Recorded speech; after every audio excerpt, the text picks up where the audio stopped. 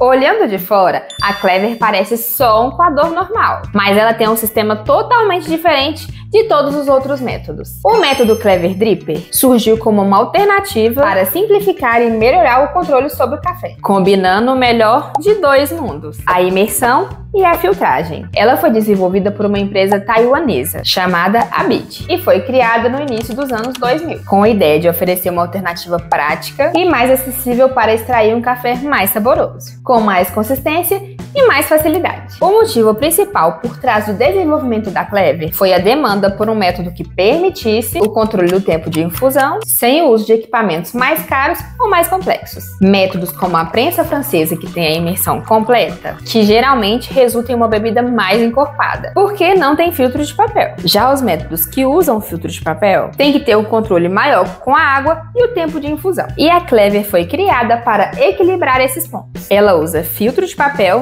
mantendo a bebida limpa, e a válvula dela controla o fluxo de forma muito prática, liberando o café só quando o tempo de infusão termina. Com a Clever, qualquer um pode ajustar o tempo de imersão com facilidade e, ao mesmo tempo, obter uma xícara mais limpa, igual aos métodos filtrados. A que a gente está usando aqui é de 500 ml, mas também tem a de 300. E como o nome já diz, a Clever é um método muito inteligente de como fazer café. Ela tem o próprio filtro, mas você também pode usar o comum que dá super certo.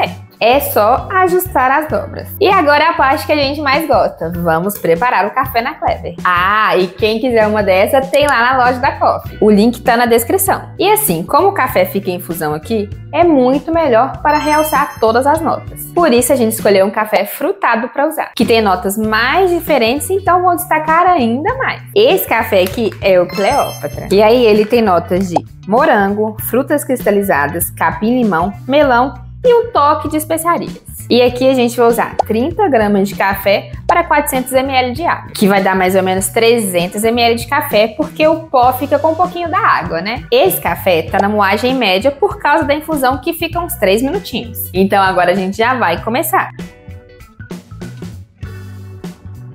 Então eu vou começar escaldando aqui que eu já vou te dar um spoiler de como a Clever funciona. Tá vendo que a água fica parada aqui, né? Mas é só colocar no recipiente que a válvula sobe e libera a água que tá aqui dentro.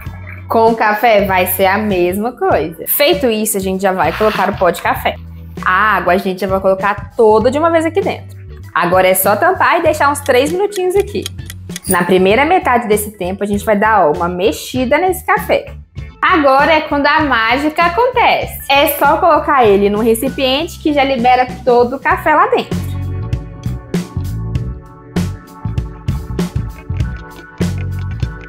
E assim fica o café na Cleve. Esse sistema dela faz toda a diferença no sabor, justamente pelo pó de café ficar em contato com a água por mais tempo. E isso antes de ser coado. A cor dele fica assim, mais clarinha mesmo.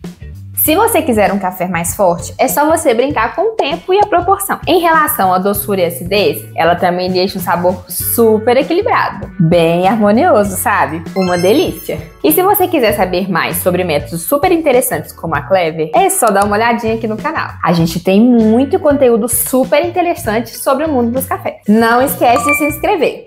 Beijos!